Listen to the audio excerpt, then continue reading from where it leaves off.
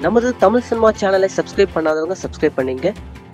கூடவே அந்த பெல் பட்டனை கிளிக் பண்ணீங்க. செய்திகள் உடனுக்குடன் உங்களை வந்து சேரும்.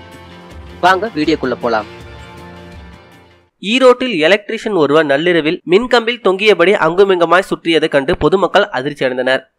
கர்நாடகா மாநிலத்தை சேர்ந்தவர் ஐரிங் வயது ஐம்பது. இவரது மனைவி சித்ரா பொள்ளாச்சியை சேர்ந்தவர். தம்பதிகளுக்கு ஒன்பது வயது ஷைனி மற்றும் பன்னெண்டு வயதில் சைலோனி என்ற இரண்டு மகள்கள் உள்ளனர். சமீபத்தில் கணவருடன் ஏற்பட்ட சண்டையால் அவரை பிரிந்து சித்ரா கோவையில் உள்ள தாய் வீட்டில் வசித்து வந்தார்.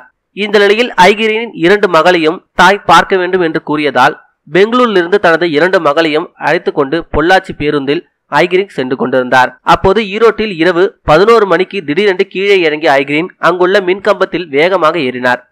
இதை பார்த்த பொதுமக்கள் ஏதோ விபரீதம் ஏற்பட போகிறது என்று கருதி உடனடியாக மின் ஊழியர்களுக்கு போலீசாருக்கும் தகவல் கொடுத்தனர்.